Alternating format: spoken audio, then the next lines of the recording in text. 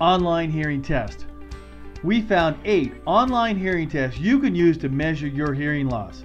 But there are two big issues with online hearing tests that I need to share.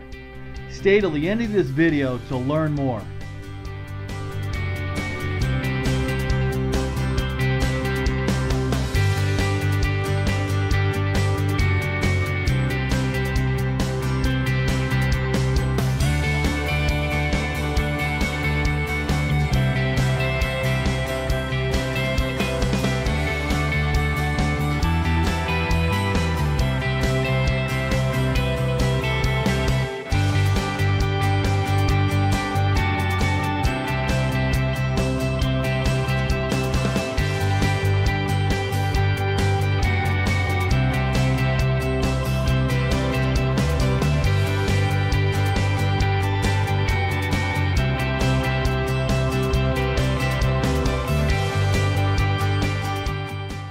The two big issues with online hearing tests.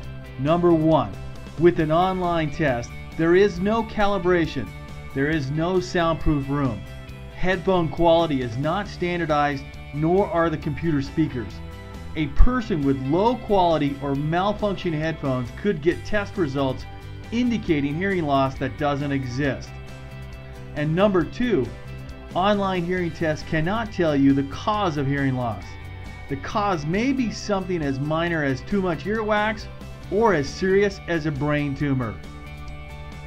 Online hearing tests provide a good first step for people concerned that they may have hearing loss.